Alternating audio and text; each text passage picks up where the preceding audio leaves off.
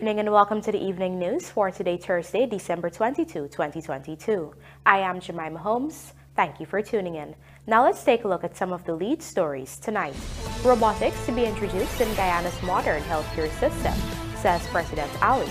No year-end promotions for police officers, says Top Cop. Suspect in 400 million gold heist stabbed to death. Dozens of leases handed over at GL and SC working to clear backlog and government to create laws for patients' privacy amid digitalization of records, says Health Minister. Now for the news in detail. President Dr. Irfaan Ali has revealed that as Guyana pushes to build a healthcare system that is globally recognized, part of that modern medical service would include the use of new technology such as robotics. Here is Vanu Manikchand with our lead story tonight. Speaking at the white coat ceremony of the University of Guyana's newly graduated doctors, President Dr. Irfaan Ali expressed that they are entering the medical profession at an exciting time in the country's history. We're investing in a new series of equipment so that you will have the best possible tools available to help you in the future. And it's not only to position our healthcare for our national needs. The long game is to position Guyana as an important medical hub globally that will offer services to the rest of the world and be a foreign currency garden. That is why we are moving into stem cell, infrastructure, technology, speciality, and robotics we are moving full speed ahead in bringing up to speed of our medical system to allow robotics to be part of the medical care delivery. On the other hand, Health Minister Dr. Frank Anthony charged the graduating doctors to be prepared to step up to health challenges. We don't expect that when we have challenges like pandemics and so forth, that people would hide away.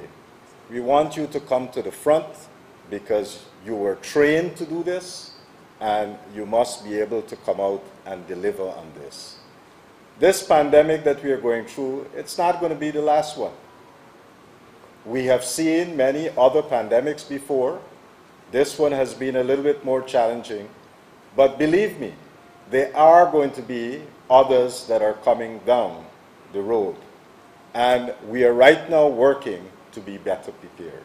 Meanwhile, Vice Chancellor of the University of Guyana, Dr. Paloma Mohamed, lauded the newly graduated doctors for their resilience and determination shown during the recent years. And you are amongst the brightest, the best survivors.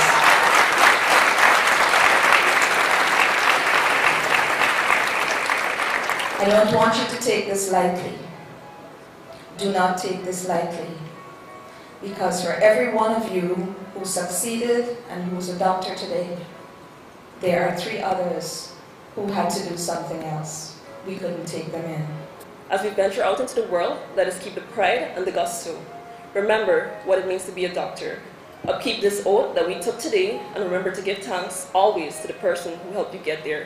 And when we're there, we must raise our collective voices and enlist the aid of others in putting redress of inequality poverty, and poor health at the center of our agenda. It is up to us to respond to the challenge. We have come up, we have to come up with meaningful ideas, creative approaches, and important discoveries, whether we venture into medical, science, medical practice, or medical business. Reporting for the Evening News, Fanu Manikchand. Police Commissioner Clifton Hicken has announced that there will be no year-end promotions this year for officers of the Guyana Police Force. Andrew Carmichael reports. We enter the festive season. And like I said, I'm going to be transparent. Unfortunately, we're not going to do any promotion for this year end because our promotion that came out was the largest ever. And so we filled the slots. But what I can do, as we're in the season of giving, Commander, you've been doing well, and I want to applaud this to you your leadership, and most of all the support you've been getting from your junior ranks, and because of that, I want to admin. Admin seems to be in a good mood. That's right. Oh, I want to reward you for your good work with a sum of $400,000. Yeah! Police Commissioner Clifton Hickins speaking during the Guyana Police Force's annual award ceremony in Region 6, East Berbice Corentyne on Thursday. Hickins also announced that some police officers will receive Christmas and Boxing Day off duty. In contrast, others will get Old Year's Day and New Year's Day off to balance family time while still remaining committed to their roles and responsibilities as members of the police force. I just want you to note, officers and junior ranks, for the Christmas season, we're going to maintain our crime fighting posture. For the Old Year's and New Year's season, we're going to continue our fighting posture. But the commander was instructed, some of you will be given Christmas Day and Boxing Day off with your loved ones and your family, and some of you are going to be given Old Year's and New Year's so we can balance our family time, but more importantly, remain committed based on our roles and responsibility members of the Guyana Police Force at levels. Senior Superintendents of Police Calvin Brutus, Errol Watts, Kyle Persram, and Crime Chief Wendell Blanhum are among eight senior police ranks who were promoted to Assistant Commissioners of Police effective July 3, 2022. Senior Superintendents Faisal Karim Bash, Ravindra Dat Budram, Khalid Simon, and Mahindra Sunarayan completed the list of promotions to Assistant Commissioners. In addition, a list of 11, including Regional Divisional Commander Superintendent Dion Moore, Superintendent Khalid Mandel, and Superintendent Budnarayan Pusad and Superintendent Raphael Rose were promoted to senior superintendents. 21 officers were promoted to superintendents of police, 25 to deputy superintendents, while 42 were promoted to assistant superintendents of police. A list of 21 were promoted to assistant superintendents on probation, four cadet officers, six the chief inspectors, while 97 were promoted to inspectors of police. In the junior promotion list, 104 were promoted to regular sergeants, 109 to corporals, and 85 to lance corporals. Andrew Carmichael, The Evening News. In a ceremonial act of handing over, dozens of leases have been given out to recipients through the Guyana Lands and Surveys Commission as it works to clear a backlog that existed pre-2015. Here are the details. Prime Minister Mark Phillips handed over dozens of leases through the Guyana Lands and Surveys Commission in conjunction with the Office of the President on Wednesday at the Arthur Chung Conference Center. The senior government official told the recipients that the distribution exercise is a promise delivered by the government through its manifesto. He reminded too that the government also promised to reverse land rent, a promise which was delivered. The rent, as you know, were doubled and in some cases tripled Example, land on the highway was moved from $100 per acre to $400 per acre. And this is now returned to $100 per acre. The Prime Minister also praised the Commission for its efforts to provide leases to a number of females, noting that this provides opportunities for empowerment. And I'm always overjoyed when I see a lot of women collecting leases because we're empowering our women. And that's another um, promise that we made to the people of Guyana. We want to see more women involved in owning property, in establishing businesses, owning their own homes. Because you know the old saying, when you help a man or you educate a man, you help or educate an individual. But when you help or educate a woman, you educate a family. Meanwhile, Chief Executive Officer of the Commission, Enrique Monize, explained that the agency had to deal with a backlog that existed prior to 2015. The CEO noted, too, that the demand for land has risen incredibly. In 2021, we had over 5,000 requests for land. And currently, we have over 5,000 requests for land in Region 4 alone that is pending. The challenge, he explained, is not necessarily availability of land, but rather accessibility. Most persons who come to the Land Surveys Commission, they will ask you, I want a piece of land close to the road and next to a creek. That has been the, the, the, the basic thing. Now, I don't know, we have many creeks and we have a few roads. So in order to, to, to, to meet that criteria, it has to be a very selective process. We now tell you that a vendor who usually plied his trade on Regent Street, Georgetown, was on Wednesday evening reportedly stabbed to death while selling on the pavement. Dead is 22-year-old Mark Singh of Herstelling, East Bank, Demerara. The stabbing occurred at about 19 hours on Regent Street between Avenue of the Republic and King Street, Georgetown. According to family members at the scene, someone walked up to Singh as he was selling and began stabbing him about his body. Singh immediately buckled and fell to the ground. He bled out and was later pronounced dead. Singh had been a suspect in the 400 million gold heist that occurred between December 2021 and January 2022 at the home of a businesswoman of Mahaica, East Coast Demerara. Singh was among five persons who were wanted in that 400 million gold heist. Police have said that Singh, in the company of four others, stole 1,000 ounces of raw gold worth 400 million from the businesswoman. It was reported that the businesswoman discovered the gold missing only when she went to check in September, and she immediately contacted the police. Coming up, over 4,400 Guyanese employed through ExxonMobil and winners of Ansa McAl Trincloro Christmas promotion drive off with cars. Do stay with us. More news ahead.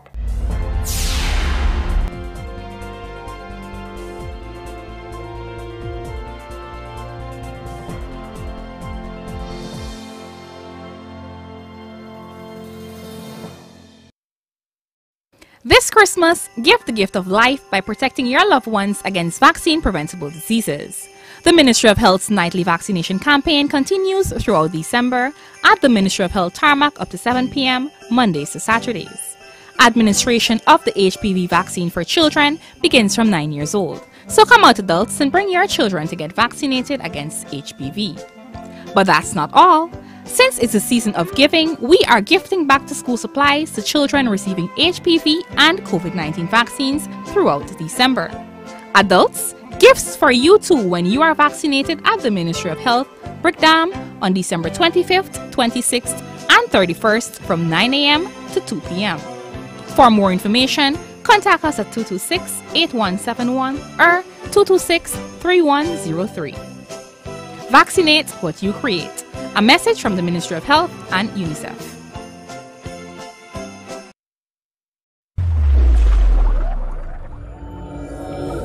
Superbet com certeza a sua melhor escolha. Com mais de 200 jogos online com Superbet, você aposta é para ganhar. Cadastre-se hoje, tá esperando o quê? Basta acessar o www.superbet.gy clicar em registrar e você já está apto a participar. Lembrando que o Superbet não é recomendado para menores de 18 anos.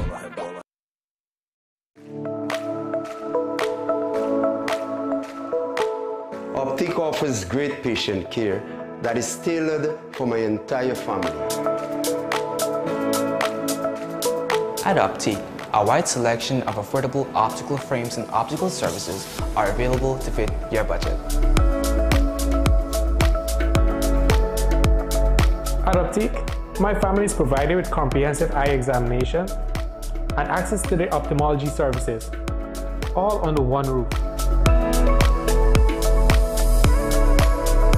Optique takes pride in delivering exceptional customer service and a unique experience to you, our customers. Optique Vision Care is a company that is Guyanese born and grown that will help you take care of your precious eyes.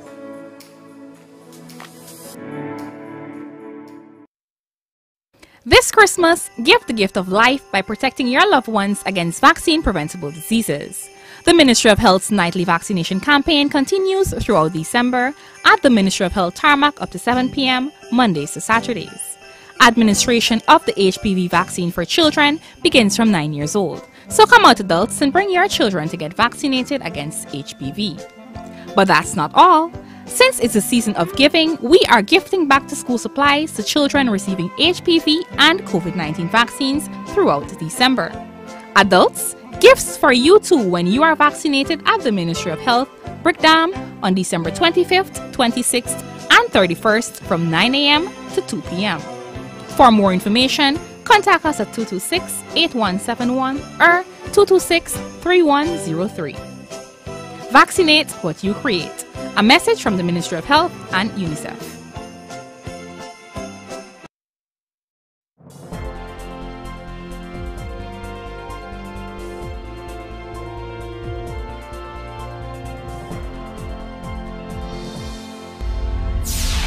Welcome back. You're watching the Evening News. Laws will be drafted in the new year to enable privacy of patients in the health system in light of the digitalization of records in the sector. Rupa Sinarain tells us more. Health Minister Dr. Frank Anthony delivered an address at the launching of the first nursing assistant program in Region 2 on Wednesday, where 46 students commenced their 18 month stint and will be employed by the Health Ministry upon successful completion. There, he announced that electronic documentation will be an integral part of the Health Ministry's operations, where laws will have to be created to ensure confidentiality. So, this is something that we are also working on to make sure that our records over the next uh, three to four years uh, would be totally electronic. And therefore, that is something that you would also have to train for uh, to make sure that you understand how to operate the system. It also speaks to privacy because you would now have such vast amounts of information uh, because you would be seeing this patient's whole life history in many instances. And therefore, there must be privacy laws that would be in place. The health minister announced that work has already commenced to have legislation in place, and this is likely to materialize in the new year.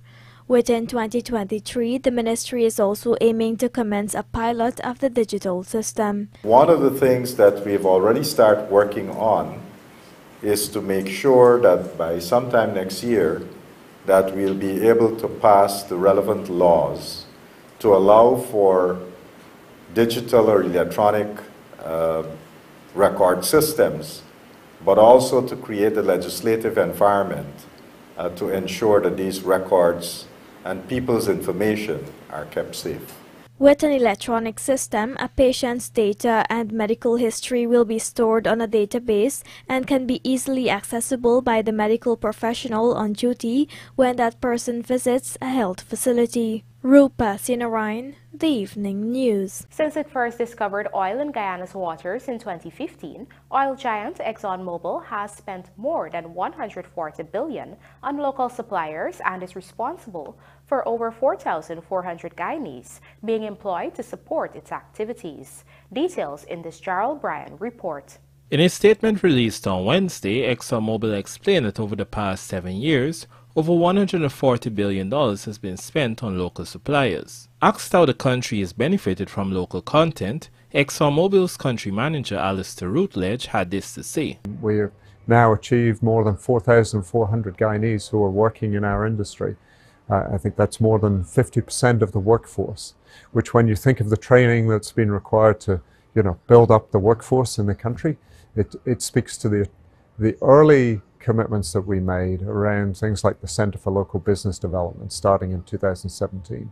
But along that way, working with other organizations like the TVET schools, um, with the ministries to ensure that people are, are well trained and available and able to contribute play an important part in developing the nation's resource.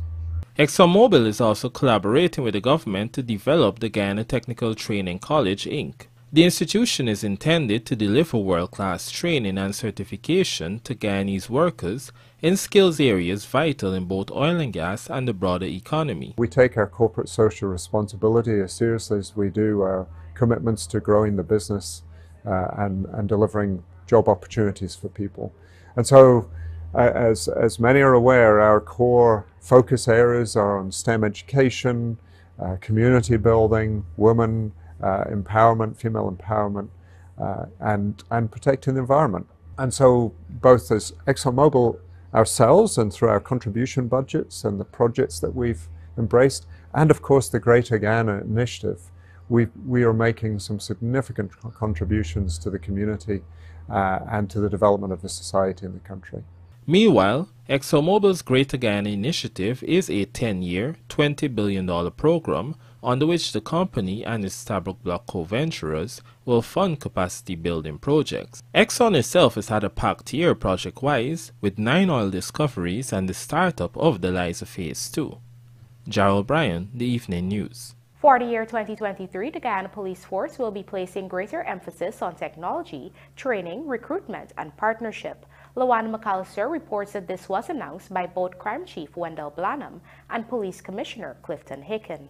This announcement was made at the Criminal Investigation Department's annual Christmas Luncheon and Awards ceremony at Police Headquarters, Eve Leary, Georgetown on Tuesday. According to Police Commissioner Clifton Hicken, the police force is going through a modernization process. We're having our buildings built to minimum standard with all the re requirements for contemporary policing. We have systems in place to have them sustained more importantly, we've been aided by, we started off as a smart city, and in days to come or years to come, we are going to have a smart country. We've already commenced the decentralization of the command center across the 10 administrative regions of Guyana, and by extension, the 12 administrative regions of the Guyana Police Force. This will aid our crime fighting posture in an intelligent-led way, and so we're going to have real-time information without causing inconvenience. He said in order to maintain their posture and professionalism, it is important to develop their capacity with the most important resource, which is human resources. Hickens added that the first step in their upgrades is to change the name of the police training school to that of an academy. We've commenced preparation for that. If in fact we are registered now, we've achieved academy status, so the change in name will complement our current posture. But importantly, we're going to train from the last constable to assistant commissioner. They will be graduating from the training school with accreditation. Of course, we prepared our, our officers and instructors at the University of Guyana to deliver those lectures. In fact, as I speak, we have officers lecturing to students of the University of Guyana at a master's level. He said it is his intention to have a force that is second to none, and they have already started seeing improvements, especially in the breakthrough of cases. He added that this is mostly because of the force's relationship with members of the public and stakeholders. Meanwhile, for 2023, the crime chief said that the CID's team of forensic video analysts will be exposed to further advanced training to enhance their investigative skills. In addition, 60 ranks will be targeted for training before they are inducted into the Criminal Investigation Department. He related that this will continue to produce high quality investigations and strengthen its cooperation and partnership with all the relevant stakeholders. Lawanda McAllister, The Evening News. Ansa McAl Trading Limited on Wednesday handed out all final prizes in the Trincloro White Christmas campaign at its Beterverwagting head office on the east coast of Demerara. Here is this story. Receiving cars were Kerry Buncher, Narissa Teresa, and Kestine King. They all drove away with Toyota Axios. In addition, there were other grand consolation prizes that were up for grabs, which include two trips for two to any Copa destination, one cash prize, and two shopping sprees, along with two Apple iPhone 13. The promotion kickstarted on October 1st, 2022 and ran until December 11th. Head of Consumer Goods, Sabrina Bejan Kishore had previously noted that the Trincloro White Christmas promotion is in keeping with Ansa McAl's core values to provide excellent services to our customers. She said their promotions recognize the need of their consumers by giving them chances to win prizes relevant to their sustainability. In order to win the prizes, Customers had to submit any Trincloro label with their names, contact number, and address into the Trincloro White Christmas promotion box available at 65 leading supermarkets nationwide. At the giveaway ceremony, the winners expressed how elated they were to win big this Christmas. I am very excited and a little bit shocked because I didn't expect it. I didn't expect it. I heard my mother was watching it and I heard she screaming. So I thought someone died. And then she told me she hear my name call. And we wanted to buy a car for so long, so I'm happy. And I'm so excited to be one of the winner of Barbies for this year. Um, entering the promotion for me was a bit of an excitement because the day of the promotion, I was so excited of winning an iPhone 3 because my phone wasn't working so good. So I entered the promotion hoping on winning the, fo- um, the phone, and when the promotion finished, I didn't win the phone, but I still continue playing the promotion. And Trinclor bleach is a bleach I would use every day, every morning to wash, to wipe out, wipe down the counter. So it's a bleach I would use every day, so I would have a lot of bleach bottle at home because every week we would purchase a bottle of bleach. And we went down to town to get a bike for my husband, and it was a bit of a disappointment on getting the bikes, I tell him, I said, babes, don't stress. Next year, we can buy the bike. And hearing the day of the promotion that I win the carry was like so exciting.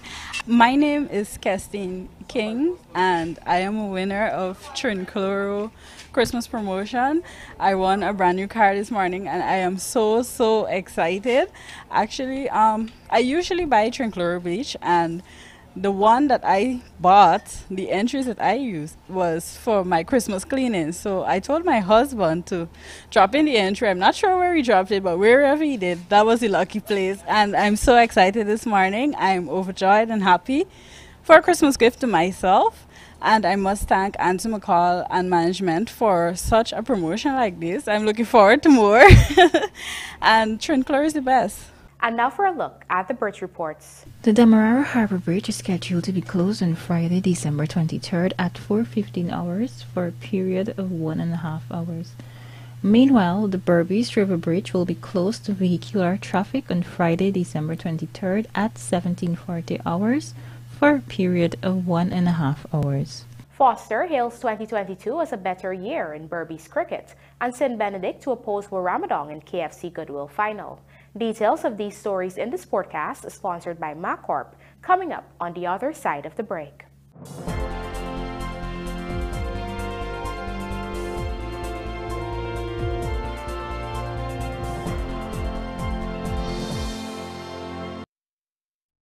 This Christmas, give the gift of life by protecting your loved ones against vaccine preventable diseases. The Ministry of Health's nightly vaccination campaign continues throughout December at the Ministry of Health tarmac up to 7 p.m. Mondays to Saturdays. Administration of the HPV vaccine for children begins from 9 years old. So come out adults and bring your children to get vaccinated against HPV. But that's not all. Since it's a season of giving, we are gifting back to school supplies to children receiving HPV and COVID 19 vaccines throughout December. Adults, gifts for you too when you are vaccinated at the Ministry of Health, Brickdam, on December 25th, 26th, and 31st from 9 a.m. to 2 p.m. For more information, contact us at 226 8171 or 226 3103. Vaccinate what you create. A message from the Ministry of Health and UNICEF. It's November already and soon it will be Christmas. So we at John Lewis Styles are giving away one Amazon Echo show every week in November and every day in December. Stream music and videos, make video calls and control smart devices, alarms, reminders and lots more. Every $5,000 spent gives you a chance to win when you shop for clothing, footwear, watches, fragrances, handbags, luggage and accessories. So visit us on Waterloo Street. John Lewis Styles, simply different. This Christmas, guess what? You're guaranteed to save big right at National Hardware Limited. Shopping for Christmas trees? We've got all sizes from the traditional to the ones with a modern twist. Garlands, wreaths, lights, and Christmas inflatables are what you need to bring that Christmas cheer. Out with the old and in with the new. We've got curtains, carpets, and so much more to spruce up your home for the holidays. Save time too, and get presents for both boys and girls, whether big or small. National Hardware has you covered in more ways than one this holiday season.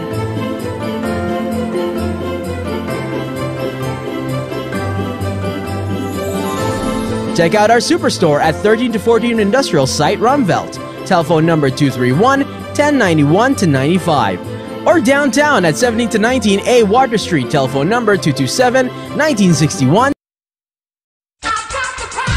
Miners, welders, and contractors. Have broken parts caused you tremendous downtime? Do you need an extra heavy-duty, dependable welding machine that will get the toughest jobs done and can also double as a generator to power all of your tools? Well, your number one industrial solutions provider Sylvies has you covered. We currently have in stock the Hobart Champion Elite Arc Welder and Generator. This capable electric start generator produces up to 11,000 watts of AC power to run tools, work lights, or backup power during an outage. It can simultaneously deliver 150 amps weld output and 8,000 watts of generator power and can run up to 14 hours on one 12-gallon tank of gas. This portable generator handles mild steel, stainless steel, and cast iron iron with a maximum thickness of half inch in a single pass. So what are you waiting for? If you can't make it our 31 High and Hatfield Streets Georgetown location, we can deliver. Give us a call on 227-6226 or WhatsApp us on 623-7755 or visit our website sylviesonline.com. Sylvie's Industrial Solution, proudly serving Guyana for over four decades. This Christmas, give the gift of life by protecting your loved ones against vaccine preventable diseases. The Ministry of Health's nightly vaccination campaign continues throughout December at the Ministry of Health tarmac up to 7 p.m. Mondays to Saturdays. Administration of the HPV vaccine for children begins from 9 years old. So come out adults and bring your children to get vaccinated against HPV. But that's not all. Since it's a season of giving, we are gifting back to school supplies to children receiving HPV and COVID 19 vaccines throughout December. Adults, gifts for you too when you are vaccinated at the Ministry of Health, Brickdam, on December 25th, 26th, and 31st from 9 a.m. to 2 p.m. For more information, contact us at 226 8171 or 226 3103. Vaccinate what you create. A message from the Ministry of Health and UNICEF.